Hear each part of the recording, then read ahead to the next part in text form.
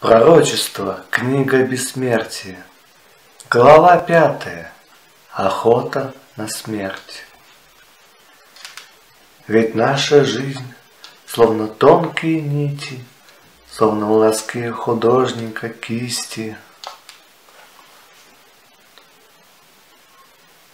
Может быть, задумавшись, ответил Оскарт. Расскажи мне, как ты стал охотником? Это не будет интересно ни мне, ни тебе, сказал Драгомир. Ты помнишь наш уговор? Да, помню. Ну что ж, начну с того, что мы прибыли в город Зербрас. Он хорошо нас принял, даже могу сказать, он стал для меня вторым домом. Там Арнир купил мне мои первые черные легкие доспехи. Не прошло и полгода, как перед моими глазами стояла группа охотников, состоящая из двадцати человек под предводительством командира Арнира. И тут началось мое обучение отлову разного рода чудищ – Признаюсь, все это мне давалось с трудом. Иногда я даже думал, что мне никогда не научиться. Но со временем я много усвоил. Но в том была заслуга только моего учителя Арнира. По своему характеру он был горд и в то же время терпелив. Для меня тогда все казалось чудом, и я мечтал, что Заработаю много золота, которое отвезу родителям. А одних мечтаний оказалось мало. Год обучения пролетел незаметно. Отношение людей ко мне резко изменилось. Я был уже не тот паренек, вечно бегающий за командиром охотников, а почти настоящим охотником на зверей.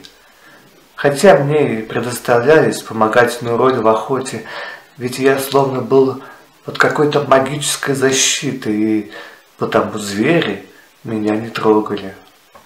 Однако затем ко мне начали приходить множество просьб по помощи. Это не были громадные тролли, о которых я так грезил, а стая голодных волков, рыскавших возле города или несколько кабанов, бегущих по деревне. Арнира и это радовало, рассказывал Драгомир. Минули три долгих года.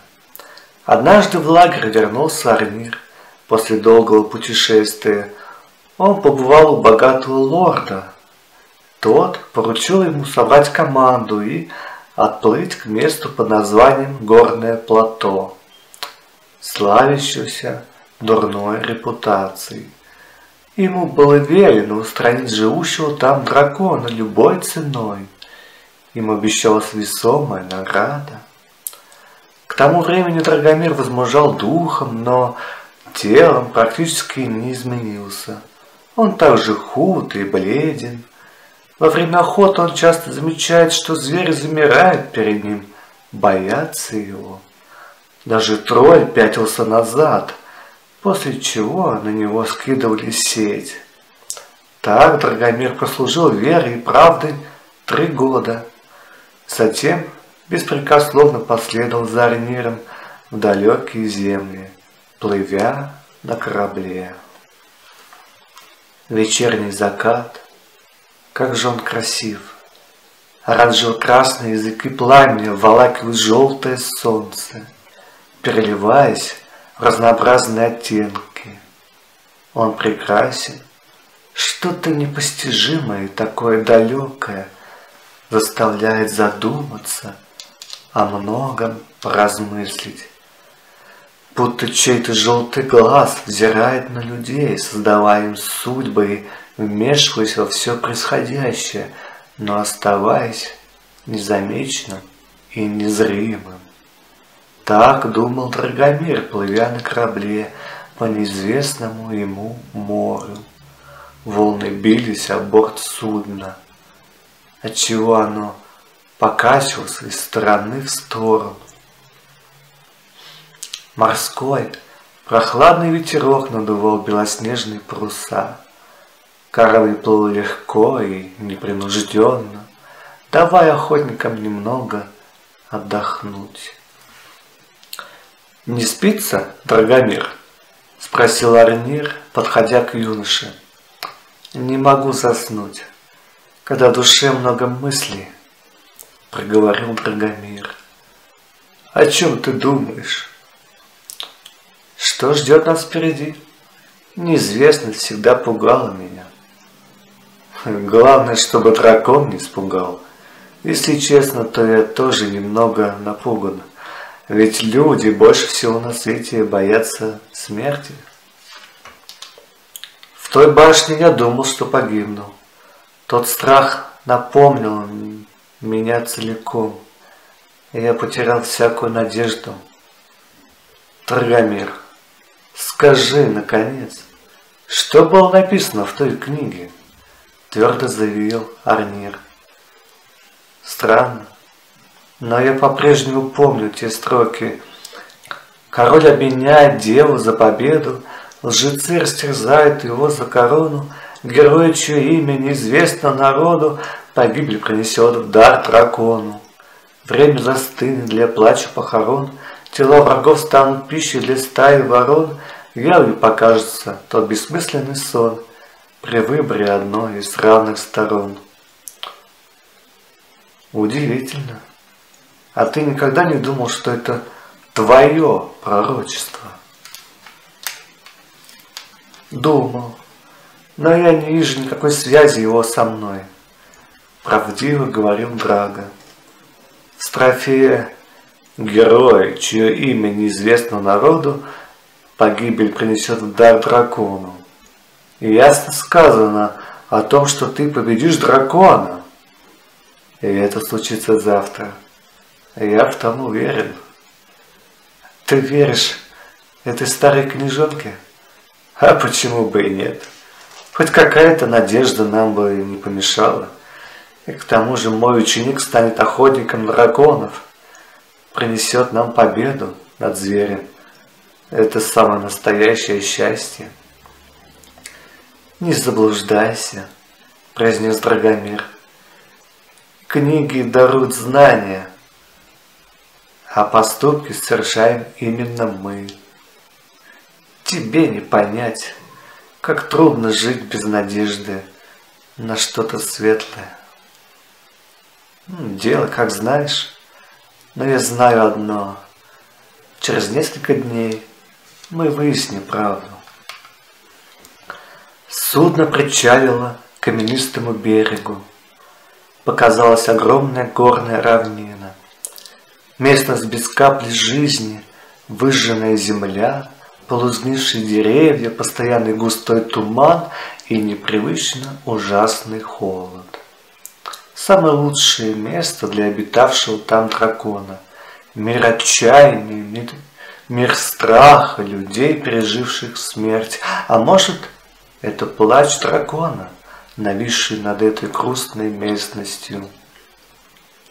Или тьма человека, не имеющего смысла, цели, терпения, храбрости, в нем только отчаяние и больше ничего. Ничего того, что могло бы изменить следующий ход судьбы, игрока вечную игру, соревнование с самим собой за право сделать правильный выбор. В короткой жизни слишком много счастья, а в длинной жизни слишком много горя. А может это заблуждение или всего лишь испуг, пронизывающий людей каждый день, давая им понять, что они живы, когда они побеждают свой страх, становятся чуточку сильнее и немного смелее. Но кто стоит за всем этим? Драгомир, ты проснулся? «Не стой, как вкопанный, помоги нам!» – прокричал Арнир. Пятеро человек с трудом толкали что-то похожее на огромный арбалет. «И это наше оружие против дракона? Как-то глупо оно выглядит!» С полусонной хмылкой сказал Драгомир. «Это глупое, как ты выражаешься, должно точно свалить любого зверя. Главное, меткий выстрел», — говорил командиры охотников назвали эту машину Вороном. И не спрашивай почему. 33 человека направились прямиком в пасть зверю. Кто-то из-за мечты, денег, трусости, гордости. Но из-за чего бы они ни шли, впереди только две дороги. У каждого лишь два исхода. В этом люди и звери схожи. Проходя сквозь время и цепляясь за каждую нить, рано или поздно закончится путь и начнется новый. А каким он будет, выбирать не нам. Потому что мы слепы, мы закрыли глаза на истину, онемели от лжи, оглохли от скорбей. Зачем? Мы и сами не знаем. Но иногда догадываемся, словно, словно то проблеск света, но этот луч одинок и еле заметен. Что же мешает нам разжечь огонь веры? Ответ прост. Вода под названием слез.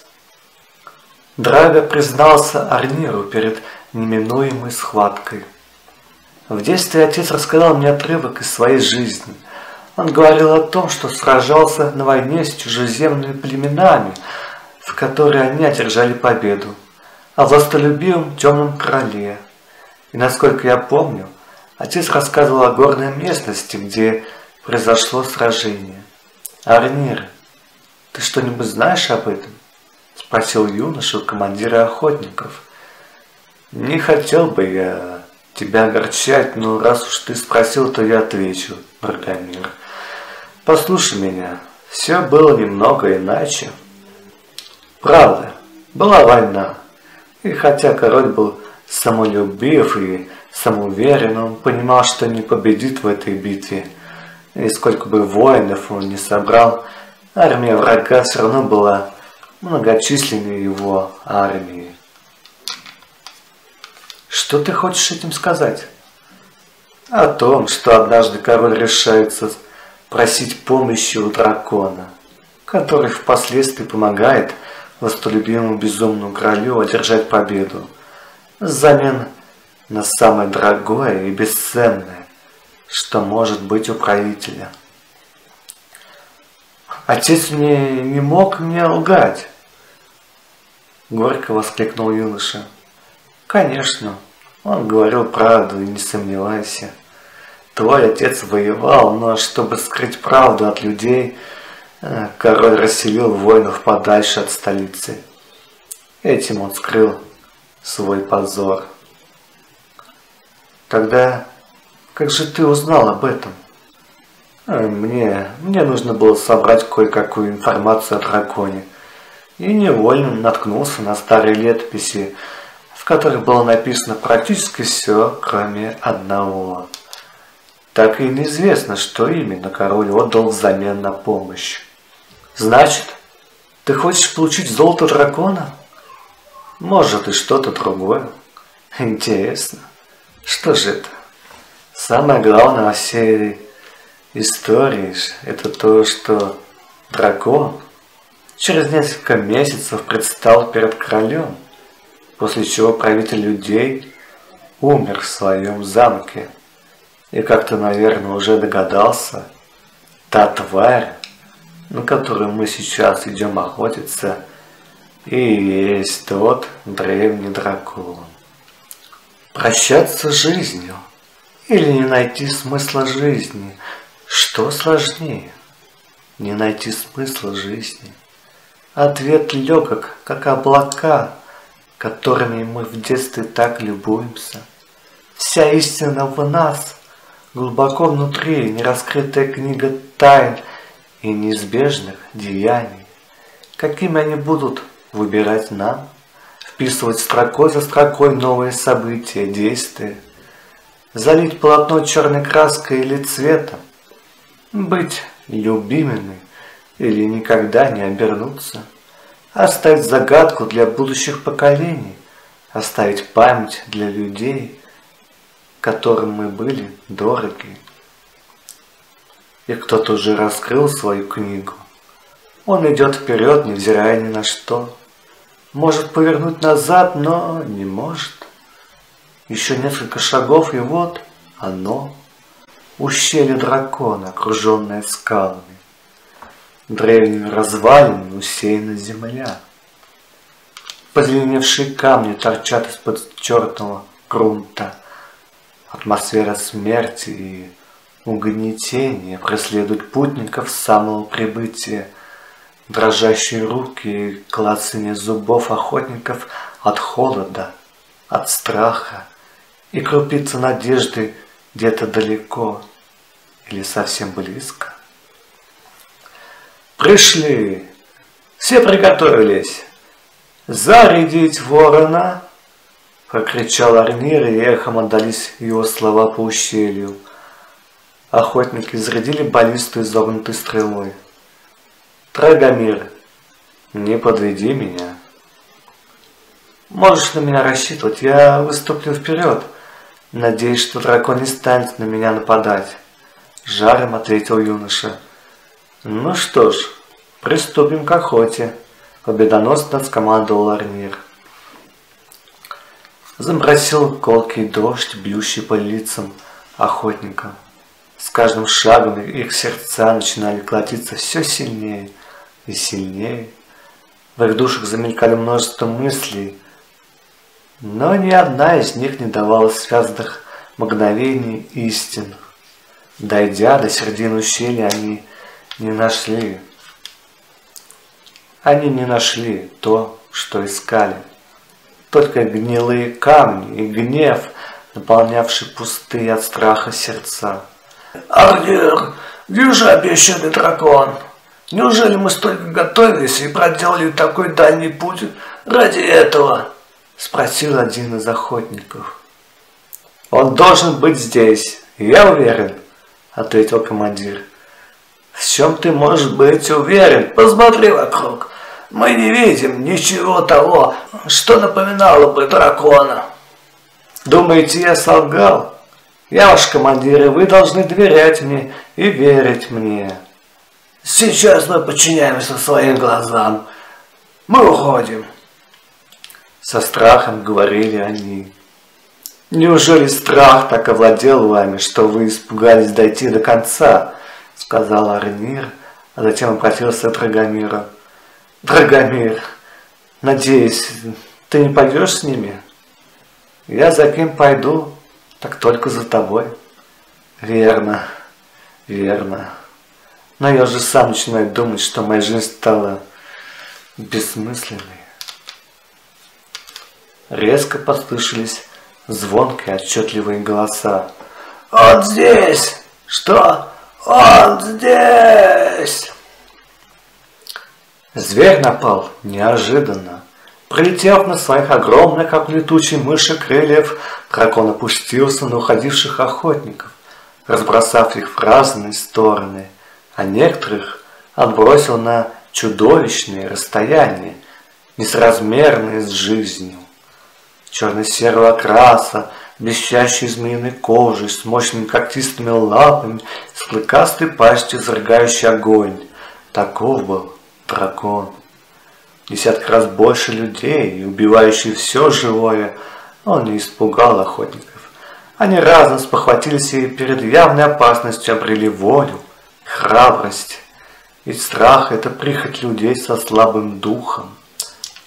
Драгомир понял тогда, что его час настал, и что из сил побежал на помощь охотникам, которые тем временем усердно обстреливали дракона из арбалетов.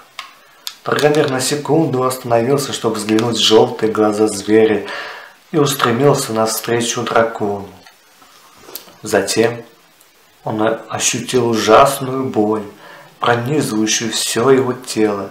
Это был взгляд дракона, не давший никакого шанса приблизиться к нему. Дракон словно говорил в его голове. «Твои приобретенные чары здесь тебе не помогут». Ведь это я их создал. Драгомир открыл глаза. Окружение стало размытым. Только очертания фигур, постоянно перемещающихся, и одна мерзко черная. Было слышно, как Арнир отдает приказы, как охотники устреливают из баллисты. Рев дракона разошелся по ущелью. Они попали прямо в шею зверя. Разум стал проясняться. Драгомир собрал все силы, которые у него остались, невзирая на боль. Он посмотрел вокруг и нашел меч Арнира. Упершись на него, словно на трость, юноша встал и направился к месту сражения. Дракон тем временем совсем обезумел. Из его раны на шее сочилась черная кровь. Рев его был ужасен. Хвостом обрушив скалу, он стал разрушать все вокруг. «Всем назад!» — скомандовал Ларнир. «Драгомир, ты жив?» «Это хорошо, но попробуй приблизиться к дракону. Утихомирь его, как ты делал раньше с другими монстрами». И «Я не могу. Он будто не разрешает мне», — ответил юноша. «Тогда справится и без тебя. Зарядить арбалеты, стреляем по конечностям». И примерно восемь человек начали обстреливать огромные лапы дракона, с каждым выстрелом приковывая его к земле. Зверь сник, как будто уже ведал свою участь. Он смотрел на своих врагов, истекая кровью и тяжело дыша, изображая потерю сил, дабы во внезапности обрушиться на людей. «Дай мне мой меч, Драгомир», — попросил Арнир. «Я хочу, чтобы люди знали, что именно этим мечом был побежден ужаснейший из драконов и помог мне в моем подвиге Драгомир Сертрак». И взявши у юноши меч он гордо зашагал к огромной туше умирающего зверя. Драгомир с остальным охотником смотрел ему вслед, как он грациозно выставил блестящий меч в сторону для замаха, глядя в глаза твари, убившей стольких людей. Как дракон открыл свою пасть, как повалилось пламя, настигающее командира охотников. Как храбрый Арнир в последнюю секунду своей жизни бросает блестящий меч в направлении головы, головы зверя, который, летя через обжигающий огонь, чернеет, тлеет, но настигает цели, пронзив единственное незащищенное место – гортань ящера, после чего дракон, пожираемый собственным огнем, умирает и маленький светлячок уносится ввысь. Пламя погасло, как и погасло пламя жизни в командире охотников, чье имя было Арнир. «Что ты ощутил тогда?» – задал вопрос Оскарт. «Боль, пламя отчаяния, сжигающую душу. Вот что во мне было тогда». Я потерял друга, хотя думал, что ничего подобного просто не может произойти. Я потерял близкого мне человека, моего наставника. Это не описать словами. После смерти Арнира я обезумел, так же, как тот дракон. Впоследствии я вытащил тот черный меч из костей зверя. Меч обжигал мои руки, он был закален пламенем дракона. Меч был проклят как мне тогда объяснили. Но боль моего тела была ничто по сравнению с болью душевной. Пророчество сбылось, но не я стал тем героем, а Арнир. Он герой, убивший дракона ценой своей жизни, и я ничего не смог с этим поделать. Это была его судьба, трагическая судьба. Он был великолепным охотником и хорошим командиром. Он всегда ругал меня за мою самоуверенность, хотя он был таким же. Это его и погубило. Но при этом он успел меня многому научить и многое показать в жизни. Я много раз думал о том, если бы я не встретил его тогда в таверне, что бы же было? конце размышлений я понимал, мне было предначертано тогда встретить его и пойти за ним. Я рад, что повстречал его, хотя это и привело к смерти близкого мне человека, ответил Драгомир. Значит, пророчество сбылось. Но что же было дальше? Спросил принц. Пусть это останется моей тайной. Это правильно, что мы похоронили его именно здесь. Думаю, он хотел бы, чтобы его погребли на месте своей последней битвы. Драгомир, мы, конечно, понимаем, нам тоже горестно, но нам нужно возвращаться, сказал охотник. Идите, приготавливайтесь, я скоро приду.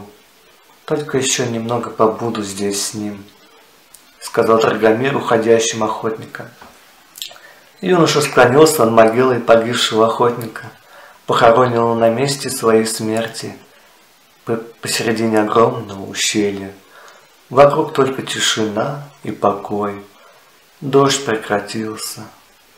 Уже должен быть рассвет, но его все нет. Стало немного теплее, но на сердце холодно, и появившийся странный туман потревожил траур по герою. Драгомир встал с земли. Мгла все больше сгущалась. Стало почти ничего не видно. Где-то вдали появилось неясное свечение. Оно приближалось к юноше. Чем оно подходило ближе, тем, тем четче виднелись очертания человека. И вот она стала совсем рядом. Это была девушка в белом платье от которой исходило яркое белое свечение странного света. Она казалась прекрасной. Ее белоснежные волосы, руки также были изящны. Ангельское лицо с серебристо-серыми глазами, смотрящими на Драгомира. Она всматривалась в его заплаканные очи. «Кто ты?» – спросил Драгомир. У меня множество имен. Вы, люди, зовете меня смертью, ответила девушка, окруженная светом. Так ты пришла за мной? Никогда бы не подумал, что смерть столь прекрасна. Удивленно, с восхищением сказал юноша. Ты не боишься меня? Похвально. Это мне в тебе и нравится. Мой маленький мальчик Драгомир Сертрак, Ты столько натерпелся за свою жизнь, Особенно, когда погиб твой друг. Соболезную тебе, Скрыв улыбку, говорила она.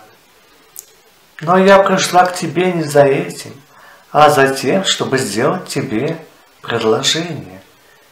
Весь наш разговор будет касаться только одного — Пророчество, сказала смерть. Пророчество? Ты смеешься надо мной? Оно не сбылось. Это я должен был погибнуть, а не Арнир. Я даже вручил ему меч, за что я себя никогда не прощу. Утробно закричал Драгомир. Отнюдь нет. Все произошло, как и было написано – ведь пророчество связано с твоей жизнью. И так было предначертано. Ты должен страдать из-за гибели друга. И, конечно, ты хочешь знать, не погибли Аремир, не открыв ты эту книгу. Я тебе отвечу. Он все равно бы сражался драконом и умер на этом месте. С тобой или без тебя его судьба был, должна быть моей власти, а не во власти этой книги. С той же нежностью говорила смерть. Может, я просто сплю это всего лишь сон? Сказал себе юноша. Тогда проснись, улыбаясь, сказала дева. Что ты хочешь от меня? Пришла за моей жизнью, отчаянно молвил Драгомир. И если бы все было так просто. Дело в том, что я не могу руководить твоей судьбой. Ты полностью зависишь от книги под названием «Пророчество». Но я знаю, кто решил спорить со мной. И я их всех истреблю. Ведь только мне позволено творить судьбы, кроме твоей, сказала смерть. Значит, я победил смерть, уверенно ответил юноша. Не обольщайся. Твое первое пророчество скоро окончится, и тебе нужно будет искать новое. Но зачем тебе этот глупый поиск, эта бессмысленная борьба? Не унималась смерть. Я хочу сделать тебе предложение. Оно заключается в том, чтобы ты забыл про эту мерзкую книгу и стал служить мне. Стань моим верным слугой. Повинуйся мне, ты станешь истинно бессмертным.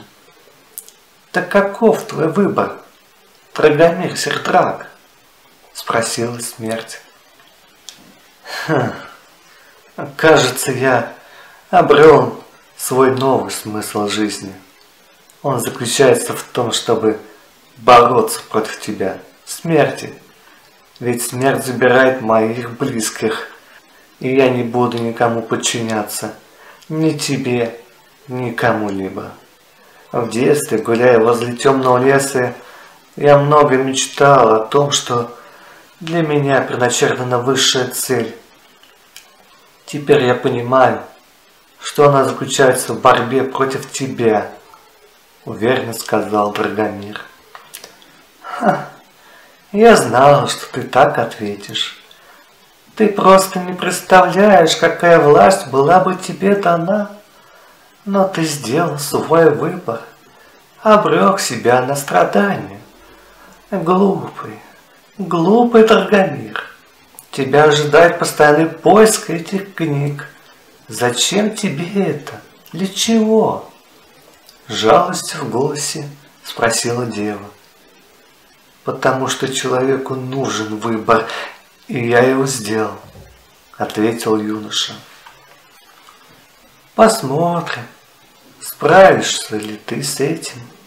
Но прежде чем уйти, у меня для тебя есть подарок, который изменит тебя и рано или поздно образумит. Мы еще встретимся с тобой, Драгомир. С долей презрения сказала смерть.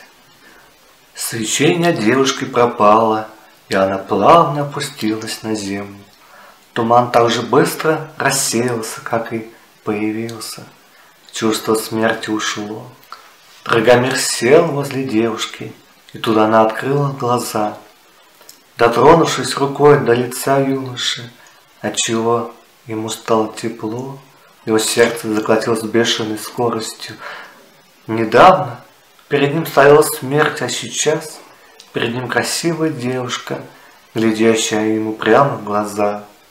Смотря, смотря друг на друга, они пытались понять, кто же они. Это могло бы продолжаться вечно. «Мой спаситель!» — ласковым голосом сказала дева. «Кто? Я?» – озадаченно спросил Драгомир. Девушка заснула.